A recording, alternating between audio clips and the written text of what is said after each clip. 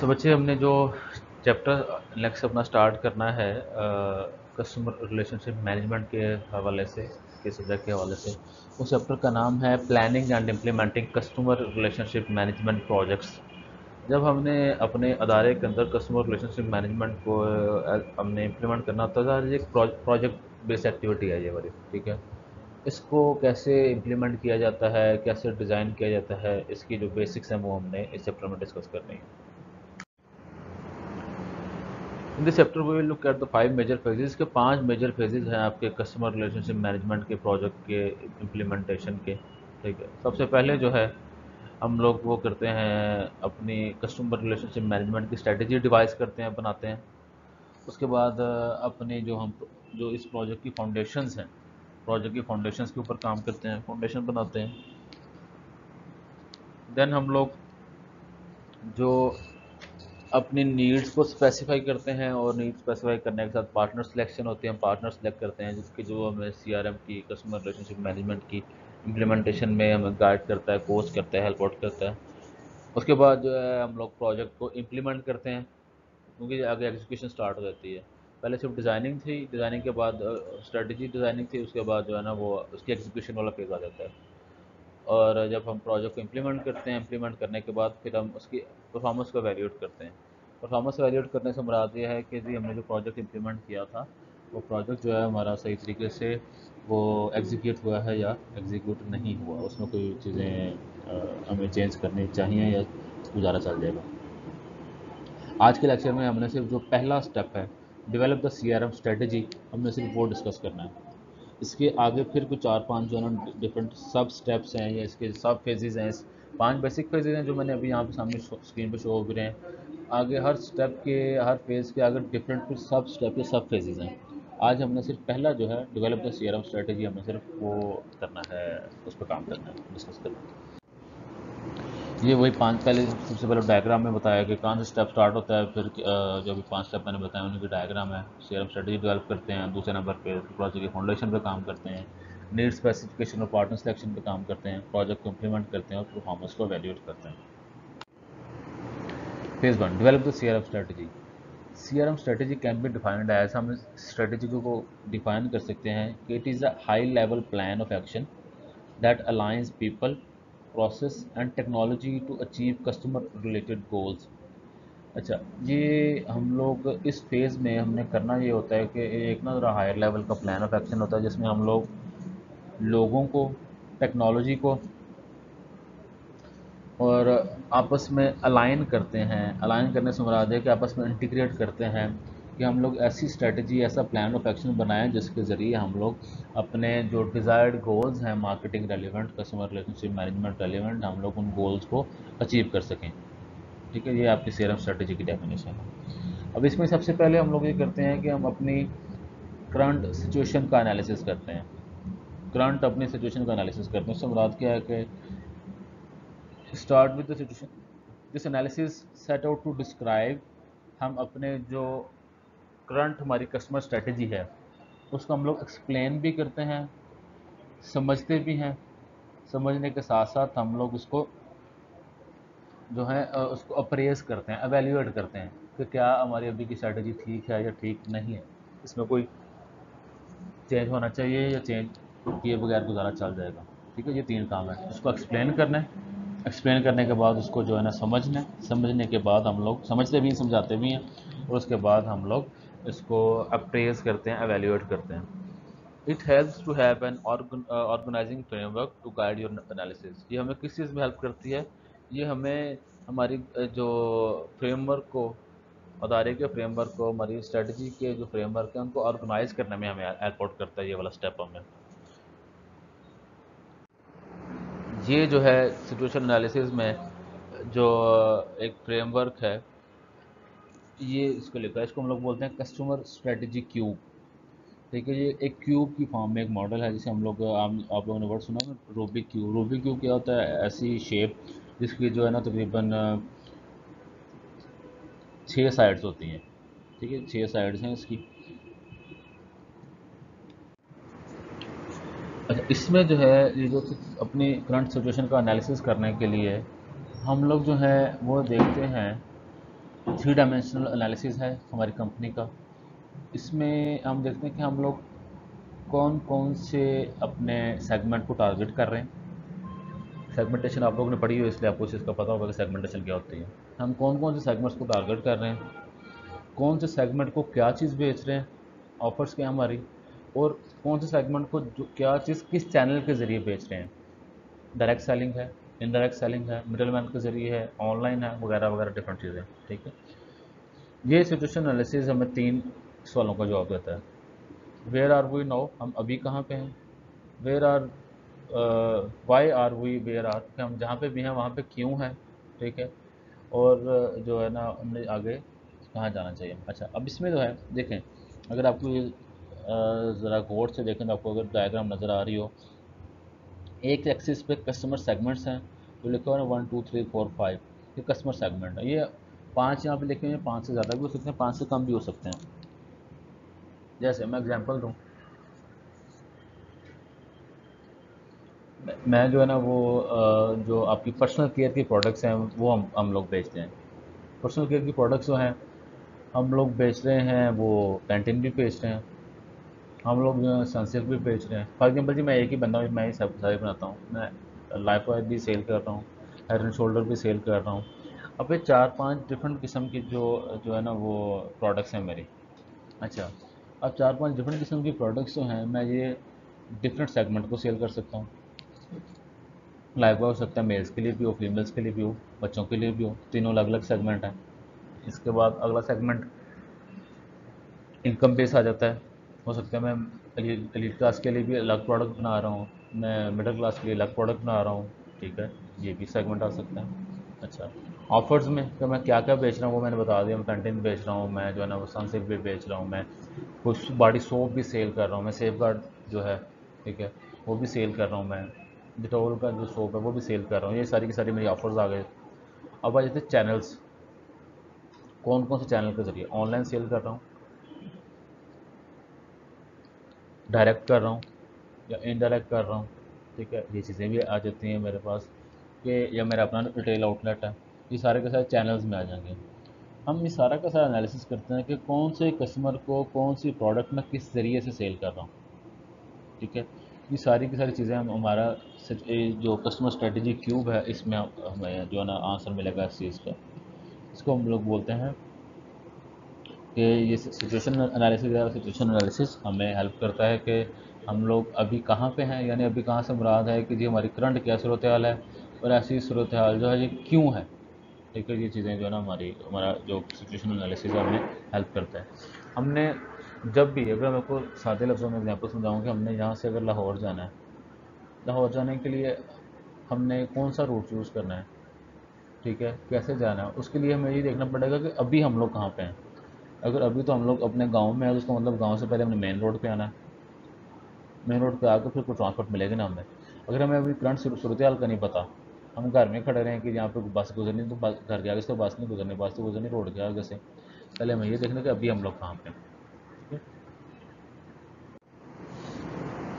वही चीज़ें आगे एक्सप्लेन की हैं कस्टमर सेगमेंट्स जो तीन चीज़ें मैंने बताई हैं। Which segment do we target किस सेगमेंट को हम लोग टारगेट करते हैं? Which segment do we serve ठीक है? जितने सेगमेंट्स को हमने टारगेट किया, उनमें से सर्व किसको कर रहे हैं? हमारे सेगमेंट रिलेटेड जो है ना, वो हमारे गोल्स क्या हैं? हमारे कस्टमर सेटिस्फाइड हैं या सेटिस्फाइड नहीं है? ठीक है? कौन सी टेक्नोलॉजी हम लोग यूज़ कर रहे हैं इन सेगमेंट्स को टारगेट करने के लिए? जाना जाता है मार्केट ऑफरिंग्स कौन कौन सी प्रोडक्ट जो हम लोग ऑफ़र करते हैं? ब्रांडिंग स्ट्रेटजी क्या है हमारी? हमारे जो है ऑफर्स के कंपेटिटर्स कौन कौन से हैं? हमारी प्रोडक्ट के एडवांटेज और डिसएडवांटेजेस क्या हैं कस्टमर के लिए कंपेटिटर के लिए। ठीक है ये सारी चीज़ें इसमें आ जाते हैं। हमारे प्रोडक्ट मार्जिनस क्या हैं प्रॉफिट्स क्या हैं हमारे? ये चीज़ें आ जाएँगी। चैनल्स अभी बताया कि चैनल कैसे हम डायरेक्ट सेल कर रहे हैं या इनडायरेक्ट कर रहे हैं वगैरह वगैरह, ये सारी चीज़ें the goal of this audit is to get a clear insight into the strength and weakness of the company's customer strategy इसका बेसिक जो पर्पज़ है, सारे के सारे एनालिसिस का, वो पर्पज़ हमारा बेसिकली ये है कि हमें अपने कस्टमर रिलेटेड स्ट्रैटेजी के बारे में डिटेल पता हो। डिटेल पता होना चाहिए हमें कि हमारी स्ट्रैटेजी अभी क्या है और स्ट्रेटजी हमारी इफ़ेक्टिव भी है कि नहीं है। और कैसे पता लगेगा करंट जो हमारे आउटकम्स एंड रिजल्ट्स हैं, उन रिजल्ट्स को देखते हुए? अच्छा अब इसकी बेस पे एक और जो चीज़ हम जो है ना वो कस्टमर जो क्यूब है स्ट्रेटजी क्यूब एक और चीज़ भी हमें जो है ना वो पता लगती है, उसको हम लोग एनालिसिस करते हैं, उसको हम लोग बोलते हैं कस्टमर इंटरेक्शन मैप इस स्लाइड में जो है ना कस्टमर इंटरेक्शन मैप है, अगर आप लोगों को नज़र आ रहा हो। तो इसमें देखें, ये जो सबसे जो राइट साइड है, ठीक है, सबसे जो राइट साइड पे आपको कंज्यूमर्स नज़र आ रहे हैं। ये मैंने जो हाईलाइट किए हैं ना, अगर आपको नज़र आ रहे हैं, ये आपके जो हैं वो कंज्यूमर्स हैं। ठीक है। अब कंज्यूमर्स तक चीज़ पहुँचने का जो है, ज़रिया है, हमारे पास जो है वो, ये एक ये तरीका कार है कि प्रोडक्ट जो है वो मैन्युफैक्चरर डायरेक्ट पहुँचा दे। ठीक है। दूसरा जो तरीकाकार है, वो ये है कि जी वो मैन्युफैक्चर डायरेक्ट ना पहुँचाए, वो मैन्युफैक्चरर दे होलसेलर को होलसेलर अगर कंज्यूमर को दे। तीसरा तरीका ये है कि मैन्युफैक्चरर जो है वो दे होलसेलर को होलसेलर आगे दे रिटेलर को रिटेलर आगे चीज़ें सेल करें ठीक है आप वेबसाइट के ज़रिए सेल कर सकते हैं कस्टमर फ़ोन पे ऑर्डर कर सकता है टेली उसके अलावा जो है ना वो अच्छा वेबसाइट पे भी जो है ना मैंने मैन्युफैक्चरर से परचेज़ किया मैं मिडल मैन हूँ मैंने अपनी वेबसाइट पे अपलोड किया और मेरी वेबसाइट से चीज़ कस्टमर तक पहुँच रही है ये डिफरेंट तरीकाकार हैं कि जिससे हम लोग कस्टमर के साथ इंटरेक्ट कर सकते हैं ठीक है अच्छा ये तो प्रोडक्ट का फ्लो था प्रोडक्ट के फ्लो के साथ आपकी मार्केटिंग कम्युनिकेशन फ्लो आ जाता है प्रमोशनल मैसेजेस हैं, ये चीज़ें इसमें आ जाती हैं। तो प्रमोशनल मैसेजेस किस तरीके से फ्लो करते हैं? आप खुद कंपनी अपनी प्रमोशन कर रही है या थ्रू रिटेलर कर रही है, या दोनों तरीके यूज़ कर रहे हैं? अच्छा खुद तो कंपनी टीवी पे प्रमोट कर सकती है रिटेलर के ज़रिए कैसे प्रमोट कर रही है। रिटेलर के ज़रिए अगर कंपनी डिस्काउंट्स दे रही है रिटेलर के ज़रिए जो है ना, वो उसने अपना कोई वो लगाया हुआ है होल्डिंग्स लगाई हुई हैं, ठीक है? होल्डिंग के ज़रिए, वॉल चेकिंग के ज़रिए आप लोग रिटेलर के ज़रिए भी अपने प्रोडक्ट को प्रमोट कर सकते हैं। Normally the interaction that have important impact on customer experience on your own cost become primary candidate for engineering and automation अच्छा अब इसका मतलब ये है कि कस्टमर इंट्रैक्शन का हमें ये क्यों आइडिया होना चाहिए कि कस्टमर से किस तरीके से हम लोग इंटरेक्ट कर सकते हैं या कर रहे हैं? हमने ये देखना है कि अगर तो कोई ऐसा इंटरेक्शन जिसका हमें फ़ायदा नहीं हो रहा कस्टमर से जिसका हमें फ़ायदा नहीं हो रहा, फ़ायदे के लिए नुकसान हो रहा है या वो चीज़ हमें कॉस्टली पड़ रही है। इस तरह के इंट्रैक्शन को हम लोग री इंजीनियर करते हैं। री इंजीनियर करने से क्या मुराद है कि हम लोग उसको रीडिज़ाइन करेंगे। हम लोग ऐसी चीज़ें हम अपने या रेवेन्यू इंक्रीज़ करने की कोशिश करेंगे। अगर रेवेन्यू इंक्रीज़ नहीं कर पाते तो अपने कॉस्ट कम करने की कोशिश करेंगे। हम इसको री इंजीनियरिंग करेंगे ताकि हम लोग ऐसे इंटरेक्शन जो कि कंपनी के लिए कॉस्टली हैं, उनका फ़ायदा इतना नहीं है उनको हम लोग जो है वो री इंजीनियर कर सकें। This audit will serve as the start point of thinking about what you want to achieve from a C R M implementation ये जो ऑडिट है, ये जो अप्रेजल है, ये आपको हेल्प करेगा कि हम लोग सी आर एम प्रोजेक्ट से अचीव क्या करना चाह रहे हैं। दूसरा जो स्टेप है पहले फ़ेज़ का, पहले फ़ेज़ का दूसरा जो स्टेप है वो है commence C R M education C R M education commence करने के वाले से। अच्छा इसके वाले से ना एक मिसअंडरस्टैंडिंग पाई जाती है जब भी हम लोग इसको काम करने को स्टार्ट करते हैं। जो आईटी के लोग हैं आईटी के लोग ये समझते हैं कि ये सिर्फ़ एक सॉफ्टवेयर पे होने वाला काम है। ठीक है? और जो है, और जो सेल्स पीपल हैं सेल्स पीपल जो जो हैं, जो मार्केटिंग के रेलिवेंट जो लोग हैं, उनका ख्याल सिर्फ़ ये होता है कि ये सिर्फ़ जो है ना वो एक डाटाबेस पे काम होना डाटाबेस में डाटा एंटर होना और कंप्यूटर ने खुद ही सारी चीज़ें जो है ना हम निकाल के बता देनी है। हालाँकि ऐसा नहीं है। इसमें लोग टेक्नोलॉजी के साथ साथ जिन लोगों ने इसको इम्प्लीमेंट करना है या इम्प्लीमेंट करने में हेल्प आउट करना है उस उनका बड़ा इंपॉर्टेंट रोल है। क्योंकि कंप्यूटर को तो नहीं पता ना कि हम लोग क्या अचीव करना चाह रहे हैं। जो हम अचीव करना चाह रहे हैं, उसको हमने कंप्यूटर अंडरस्टैंडेबल लैंग्वेज में हमने वहाँ पर ट्रांसफॉर्म करना है। और कंप्यूटर जो है, वो डाटा एनालिसिस करके सॉफ्टवेयर जो हैं, वो डाटा एनालिसिस करके हमें क्या आउटपुट देते हैं, उसको हमने लोगों को बताना है कि यार सेल इंक्रीज़ करो, अपनी कन्विंसिंग पावर इंक्रीज़ करो कस्टमर को सेटिस्फाई करो। कस्टमर को रिटेन करो। ये सारी की सारी चीज़ें जो हैं, ये सी आर एम एजुकेशन के तनाजुर में आती हैं कि ये जो कन्फ्यूज़न है कि ये सिर्फ़ एक आई टी बेस्ड जो है ना वो एक प्रोजेक्ट है, इस चीज़ से जो है ना वो हमें निकालना है अपने एम्प्लॉयज़ को, अपने लोगों को, उनको समझाना है। कि सॉफ्टवेयर्स का कंप्यूटर का डाटाबेस का इसमें ताल्लुक ज़रूर है, लेकिन सिर्फ़ वो सेज का नहीं है। उसके साथ साथ लोगों का बड़ा इंपॉर्टेंट रोल है, जिन लोगों ने काम करना है। अगर लोग मोटिवेटेड नहीं हैं डाटाबेस में एंटर करने के लिए डाटा कलेक्ट करने के लिए डाटा को एनालिसिस करने के लिए। तो जब मोटिवेटेड नहीं तो सॉफ्टवेयर ने क्या करना है वहाँ पर? अच्छा अगर सॉफ्ट डाटा में एंटर कर लिया एनालाइज कर लिया रिजल्ट्स आ गए हैं, उसके बाद हमने अपनी स्ट्रैटेजी के अंदर को चेंज करनी है। तो स्ट्रैटेजी चेंज करने के लिए लोग मोटिवेट नहीं है मोटिवेटेड नहीं है, काम नहीं करना चाह रहे तो फिर भी हमारे लिए मसला। है ठीक है? तो हमें लोगों को एजुकेट करना है कि भाई इसमें आप लोगों की कंट्रीब्यूशन के बगैर ये प्रोजेक्ट जो है वो इम्प्लीमेंट नहीं होगा। ये सिर्फ़ पार्टी बेस्ड काम नहीं है। Education has the twin benefits multiple benefits of, of uh, aligning and uh, of uh, any fears यानी कि लोगों के जो डर हैं खौफ हैं जो कन्फ्यूज़न हैं वो ख़त्म करेंगे ठीक है? क्योंकि जो मिसअंडरस्टैंडिंग्स थी वो क्लियर होंगी और लोगों को पार्टिसिपेट करने में कि आप इस सी आर एम इम्प्लीमेंटेशन के अंदर पार्टिसिपेट करें। इस चीज़ के अंदर भी आपको जो है ना वो हेल्प आउट करेगा। ये जो है ना वो सी आर एम की जो एजुकेशन है लोगों लोगों को जो आप एजुकेट करेंगे। डिफरेंट नीचे जो है ना वेबसाइट्स बताई गई हैं जो कि आपको ये समझाने में बेहतर रोल प्ले कर सकती हैं। आपको एज ए स्टूडेंट भी और जो है जो एम्प्लॉयज़ हैं उनको समझने के लिए कि सी आर एम जो है वो क्यों ज़रूरी है, ठीक है? और इसका मतलब क्या है सी आर एम का? इसके फ़ायदे क्या हैं? ये सारी की सारी वेबसाइट्स हैं जो आप लोगों ने विज़िट करनी है, आप लोगों को फिर काम की जो है ना चीज़ें हैं भाई develop C R M vision अपने जो कस्टमर रिलेशनशिप मैनेजमेंट का जो प्रोजेक्ट है, इस, इसका विजन क्या है? हम लोग कहाँ पे जाना चाह रहे हैं? क्या देख रहे हैं इसके ज़रिए? Your C R M vision is a high level statement of how C R M will change your business as it relates to customer C R M vision जो है, ये बेसिकली एक कोई वन लाइनर स्टेटमेंट कोई होगी जो कि आपको ये बताएगी कि ये जो प्रोजेक्ट है, ये आपके बिज़नेस के अंदर क्या चेंज लेके आएगा या आप इससे क्या चेंज लाना चाहते हैं। और software as a service company ये कंपनी है, उस कंपनी का नाम है उसको हम लोग सास भी बोलते हैं S double A S software as a service ठीक है। उन्होंने सेल्स फोर्स डॉट कॉम ने प्रोवाइड कुछ इसकी एग्ज़ाम्पल दी हैं कि आप C R M vision C R M vision क्या क्या हो सकता है, यानी कि आप इससे क्या क्या चीज़ें अचीव कर सकते हैं। इसकी एग्ज़ाम्पल नीचे है कि we will work with our members in a trust based relationship to represent their interest and to satisfy their needs for high value security and peace of mind in motoring travel and home ये किसी जो है ना वो ऐसी company जो कि travel का काम करती है या मोटरिंग के उनका बिज़नेस है। बाहर कहते हैं कि जी हम लोग अपने जो क्लाइंट्स हैं, उनके साथ मिल के हम लोग जो है ना इस चीज़ पर काम करना चाह रहे हैं कि जी आपका जो जो है, आपकी जो ट्रू इंटरेस्ट है, आपकी जो कस्टमर की जो नीड्स हैं और उनको हम लोग अच्छी तरीके से नुमाइंदगी कर सकें, उनकी नुमाइंदगी कर सकें ताकि आपकी ज़रूरत की चीज़ बने, आपकी ज़रूरत पूरी हो, आपको सुपीरियर वैल्यू मिले।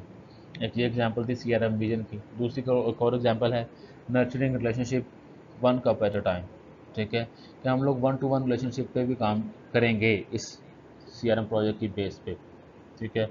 इसका मतलब कि हम लोग खिचड़ी नहीं पकाएँगे, जो काम पकड़ेंगे, उस काम को पूरा करेंगे। Driver customer experience that consistently develop enthusiastically satisfied customer हम लोग जो है, इसके ज़रिए करेंगे क्या? हम अपने ऐसे कस्टमर जो हैं, वो बनाने में कन्वर्ट करने में की कोशिश करेंगे, जो कि पैशनेट होंगे, लॉयल होंगे सेटिस्फाइड होंगे हमारे ब्रांड के साथ। एक और एग्जांपल है build and maintain long term relationship value with valuable customers by creating personal experience across all touch points अच्छा इससे हम क्या, एक और विजन ये हो सकता है कि जी हम लोग जो है अपने कस्टमर के साथ लॉन्ग टर्म रिलेशनशिप बिल्ड करना चाहते हैं। जितना भी कस्टमर टच पॉइंट्स हैं जहाँ जहाँ पे हमारा कस्टमर के साथ मैक्सिमम इंटरेक्शन हो सकता है उन सब टच पॉइंट्स के ऊपर हम लोग कस्टमर एक्सपीरियंस को बेहतर से बेहतर बनाने की कोशिश करेंगे कस्टमर को पर्सनल पर्सनल जो है ना वो टच देने की कोशिश करेंगे ताकि वो जो है अपने, उसको अपनी ज़रूरियात को पूरा जो है ना वो सेटिस्फाई कर सके। Nothing is more important than marketing every user successful एक ये भी एग्जांपल है कि जी कोई हमारे लिए सबसे ज़्यादा ज़रूरी चीज़ है कि जो हमारी मार्केटिंग है, हर तनाजुर में, हर यूज़र के लिए वो सक्सेसफुल हो। ये डिफरेंट एग्ज़ाम्पल हैं। हमने जब भी अपना सीआरएम प्रोजेक्ट जो है वो इम्प्लीमेंट करना है या डिज़ाइन करना स्टार्ट करना है, हमने अपना पहले सीआरएम विजन हमने जैसे अपने प्रिंसिपल ऑफ़ मैनेजमेंट में या प्रिंसिपल ऑफ़ मैनेजमेंट में आप लोगों ने विजन और मिशन स्ट्रेटजी आप लोगों ने पढ़ी होंगी, सुनी होंगी, ठीक है? अब इसमें भी आप लोगों ने अपने विजन स्टेटमेंट जो है ना वो सबसे पहले, जो कि पर्टिकुलरली कस्टमर रिलेशनशिप मैनेजमेंट के हवाले से होगी, उसके ऊपर आपने जो है ना वो लिख, लिखनी है पहले। C vision gives you shape and direction to your C strategy ये आपको डायरेक्शन देती है सी स्ट्रेटजी की, ठीक है? The C vision might be senior management perspective ठीक है? ये आपकी, जो आपका विजन है, ये आपकी जो टॉप मैनेजमेंट है, उनका परस्पेक्टिव भी हो सकता है। उनको जितना सी के हवाले से पता है, उसके हवाले से उनका पर्सपेक्टिव भी हो सकता है। और उसके साथ साथ it could be a product of a wider visioning process that engage हाँ इसमें यह भी है कि जो टॉप मैनेजमेंट के साथ साथ जो आपके जो दरमियान बाकी जो स्टेक होल्डर्स हैं और जो पार्टनर्स हैं उनकी जो सोच है, उनकी सोच की अक्सी भी कर सकते हैं, उसको हम लोग बोलते हैं सी आर एम विजन चौथा है जो सब स्टेप्स है, पहले फ़ेज़ का, उसको बोलते हैं सेट प्रायोरिटीज़ हमने अपनी प्रायोरिटी सेट करनी है। C R M project vary in their scope and can touch one or more customer facing parts of your business sales marketing business sale marketing और सर्विसेज़ अच्छा अब जब आप लोग जो सी है ना आपका, हर सी का स्कोप सेम नहीं होता। हर सीआरएम का स्कोप सेम नहीं होता। सी का जो प्रोजेक्ट का जो स्कोप है, वो वेरी करता है प्रोजेक्ट टू प्रोजेक्ट अच्छा अब इसमें जो है customer facing parts of business अब कुछ हमारे जो सीआरएम के प्रोजेक्ट हैं, वो हो सकते हैं, वो हमारे सेल्स के ऊपर काम, उनका ज़्यादा फोकस हो। कुछ ऐसे हैं हमारे जो सीआरएम के जो प्रोजेक्ट हैं, जिनका हो सकता है हमारा प्रमोशन के ऊपर ज़्यादा फोकस हो। कुछ हमारे सीआरएम के प्रोजेक्ट हो सकते हैं, ऐसे हों, जिसमें जो सेल पर्सन की जो ट्रेनिंग है, उसका ज़्यादा फोकस हो। कुछ हमारे जो सीआरएम के प्रोजेक्ट हो सकते हैं, हो सकता है उनका जो मेजर फोकस है, वो कस्टमर को एजुकेट करना हो। हो सकता है कस्टमर को आपके प्रोडक्ट के बारे में नहीं पता तो वो आपकी जो आप कस्टमर को ट्रेन कर सकते हैं, ठीक है? कुछ हमारे जो जो हैं प्रोजेक्ट्स हैं, हो सकता है उनकी प्रायोरिटीज़ में कि हमने अपनी कॉस्ट कम करनी है। कॉस्ट किस चीज़ की? टू रिटेन अ कस्टमर उसकी कॉस्ट कम करनी है to acquire a new customer उसकी कॉस्ट कम करनी है, ठीक है? कस्टमर एक्सपीरियंस को बेहतर से बेहतर बनाना है। ये डिफरेंट किस्म के हमारे जो है ना वो प्रायोरिटीज़ हो सकती हैं। हमने ये देखना कि हमारी प्रायोरिटी हमारा जो कंपनी है, हमारा जो मार्केटिंग एक्टिविटीज़ हैं, वो कहाँ पे लैग कर रही हैं, हमने कहाँ पे चीज़ों को जो है ना इम्प्रूव करना है हमने, ठीक है? एजुकेशन ठीक है might fall out of situation analysis but ठीक ये वही चीज़ें हैं। तो आपने ये देखना है कि आपका जो प्रायोरिटी है प्रायोरिटी क्या है इसमें? सबसे पहले प्रायोरिटी सेट करनी है आपने। इस्टेब्लिश गोल्स एंड ऑब्जेक्टिव जब आप लोग प्रायोरिटी सेट कर लेंगे ना अपनी, कि फिर प्रायोरिटी के बेस पे आपको ये हो जाएगा कि हमारे डिज़ायर्ड गोल क्या हैं और ऑब्जेक्टिव क्या हैं। गोल और ऑब्जेक्टिव का फ़र्क आप लोगों को पहले यकीन पता होगा, आप लोगों ने पढ़ा होगा मैं फिर भी इसको रिवाइज कर देता हूँ रिपीट कर देता हूँ।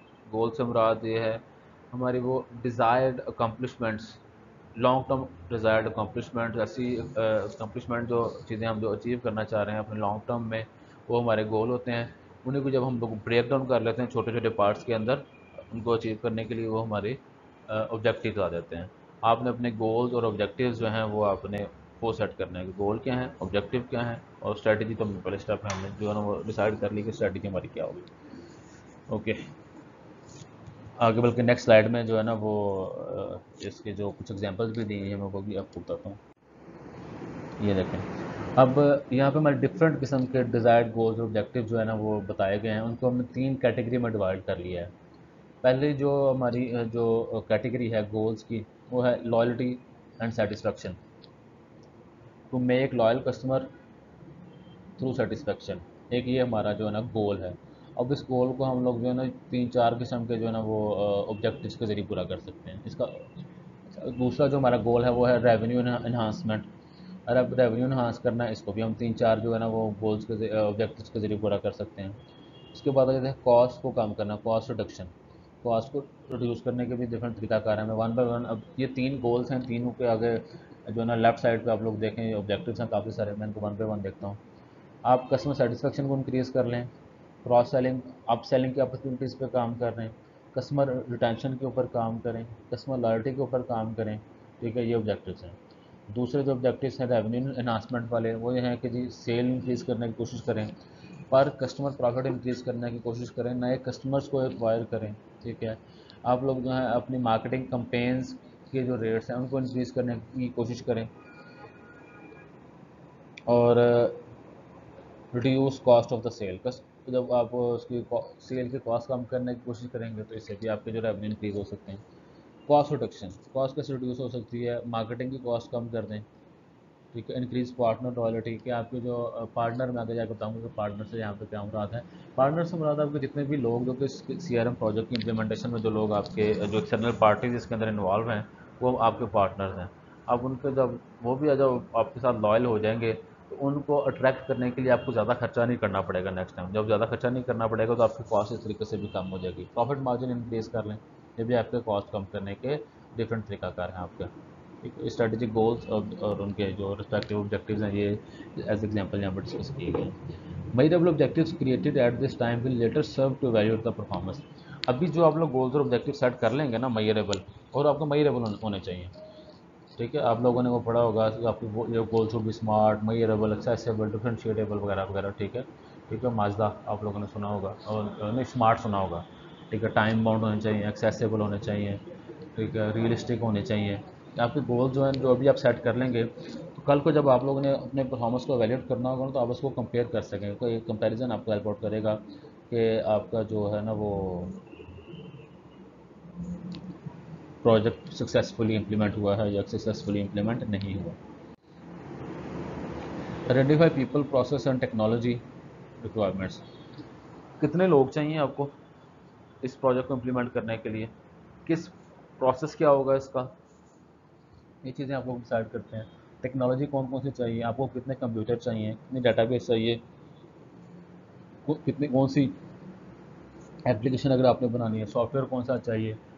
और उसके बाद इंटरनेट कौन सा चाहिए, कितनी स्पीड चाहिए, ठीक है, ये सारी की सारी चीज़ें इसमें आ जाएँगी आपकी छः स्टेप के देना। Next step to begin the process to identify people process and technology requirement ये सारी रिक्वायरमेंट्स जो है ना, वो आप लोग देखेंगे, ताकि आप लोग कल को अपना ये सारी की सारी जो चीज़ें हैं ना, लोग टेक्नोलॉजी और प्रोसेस रिक्वायरमेंट के प्रोसेस क्या होगा, इसको इम्प्लीमेंट करने का, हमने कस्टमर से डाटा कलेक्ट कैसे करना है, उसको एनालाइज कैसे करना है who is responsible for what ठीक है, ये सारी की सारी चीज़ें आपको नेक्स्ट चीज़ों में जाके हेल्प आउट करेंगे। ठीक है। सॉफ्टवेयर कौन से चाहिए। और जो सातवां स्टेप है, वो है डेवलप द बिज़नेस केस ठीक है ये आपके पहले फ़ेज़ का जो लास्ट स्टेप है, वो है develop business case the business case is build around the cost and benefit analysis ठीक है कि आपका जो बिज़नेस केस हम रहा है कि आप आप ये आपने अपने बेनिफिट्स देखे गोल सेट किए गोल सेट करने के बाद फिर आप लोग ये देखते हैं कि इसकी जो कॉस्ट है कॉस्ट हमें कितनी बियर करनी पड़ेगी इसके ऊपर। आप ये कॉस्ट बेनिफिट एनालिसिस जो है ना कॉस्ट बेनिफिट एनालिसिस जो है ना, वो आप वो इसमें करते हैं, ठीक है? और ये कॉस्ट बेनिफिट एनालिसिस आपको इस इसमें बताएगा कि हमें सी प्रोजेक्ट के अंदर क्यों इन्वेस्ट करना चाहिए। वो आप बताएँगे कि अगर तो उसके बेनिफिट ज़्यादा हैं कॉस्ट कम है तो इसका मतलब है कि जी आपको इस प्रोजेक्ट ये जो है ना काम करना चाहिए। अच्छा ये जो कॉस्ट बेनिफिट एनालिसिस है ना, ये आपका बिज़नेस केस है। सीआरएम प्रोजेक्ट को इम्प्लीमेंट करने का जो कॉस्ट और बेनिफिट का एनालिसिस आपका बिज़नेस केस है। The business case looks at both cost and revenues cost कितनी रेवेन्यू कितनी होगा, इसमें आ जाएगा कि जी सी ठीक है। कैसे आपको होगा conversion of more lead from suspect to prospect opportunity ये बेनिफिट्स इसमें बताए जा रहे हैं। बेनिफिट्स कौन कौन से आ सकते हैं? तो जी, आपको एक कस्टमर आपको दूसरे कस्टमर तक लीड कर सकता है। क्रॉस सेलिंग और अप सेलिंग इंक्रीज हो सकती है। ठीक है? आपकी प्रोडक्ट प्राइसिंग रिवाइज करके आपके रेवेन्यूज इंक्रीज हो सकते हैं। कस्टमर सेटिस्फेक्शन इंक्रीज हो सकती है कस्टमर रिटेंशन इंक्रीज हो सकती है। पॉजिटिव वर्ड ऑफ़ माउथ आपका जो है ना अक्रॉस मार्केट आपका बनेगा। उसके बाद मोर लीड्स एंड आपको लीड जैसे मैंने पहले बताया था लीड्स मिलेंगे, आपकी पर्सनल रिलेशनशिप बनेंगे आपके। इंक्रीमेंटल सेल्स और मोर इफ़ेक्टिव सेलिंग प्रोसेस आपकी जो पर कस्टमर आपकी जो सेलिंग है, आपके जो रेवेन्यूज हैं, वो आपके इंक्रीज हो जाएँगे। ठीक है? कॉस्ट कैन बी रिड्यूस पाए। पहले था कि रेवेन्यू कैसे इंक्रीज होता है आप कहते हैं कॉस्ट कैसे डिक्रीज हो सकती है। ये बिज़नेस केस में हमें चीज़ें आप करेंगे। Improve lead generation and qualification जब हमें पता जब हम मज़ीद क्वालिफाई हो जाएँगे, हमें स्पेसिफिकली पता हो जाएगा कि हमने किस पर्टिकुलर कस्टमर को टारगेट करना है तो हम गैर ज़रूरी कस्टमर को टारगेट करने से बच जाएँगे। जब गैर ज़रूरी कस्टमर को टारगेट नहीं करेंगे गैर ज़रूरी कस्टमर कौन से कस्टमर हैं, जिन्होंने हमसे प्रोडक्ट को परचेज़ करने नहीं, उनके हमें पैसे खर्च कर रहे हैं हम लोग, ठीक है? तो ऐसे लोगों से जब हम बच जाएँगे तो हमारी कॉस्ट कम हो जाएगी। Lower cost of customer acquisition customer को एक्वायर करने की कॉस्ट हम लोग कम से कम कर, कर सकते हैं। More efficient account management account management से मुराद दिया कि कोई हमारे जो हैवी कस्टमर्स हैं उन हैवी कस्टमर्स पे कौन से कस्टमर ने लास्ट टाइम कब हमसे क्या परचेज़ किया था इस बेर पे इस बेस पे हम लोग उसके ज़रूरत के मुताबिक अपने मार्केटिंग ऑफर्स को हम लोग रीडिज़ाइन कर सकते हैं। ठीक है? इससे भी हमारी कॉस्ट कम होगी। Less waste in marketing campaigns ठीक है? ऐसी मार्केटिंग कंपेन्स जिनका कोई फ़ायदा नहीं है उनके ऊपर हम लोग इन्वेस्ट नहीं करेंगे। Reduce customer service cost customer service cost से मुराद है कि जी कस्टमर अगर सेटिस्फाइड नहीं है तो कुछ वारंटी या गारंटी क्लेम करता है तो हम लोग उस पर ज़्यादा कंपनी की कॉस्ट आती है वारंटी और गारंटी को जब कस्टमर कंप्लेन करता क्लेम करता तो। तो हमने वो क्लेम्स कम कम कम से कम कर, करने की कोशिश करनी है। वो कैसे होगी? जब कस्टमर को कंप्लेन होगी कम से कम। और कस्टमर को कंप्लेन कम से कम कब होगी जब कस्टमर की ज़रूरत के मुताबिक चीज़ बनेगी? और कस्टमर की ज़रूरत के मुताबिक चीज़ जो है वो कब बनेगी जब हमें कस्टमर के बारे में पता होगा? ठीक है?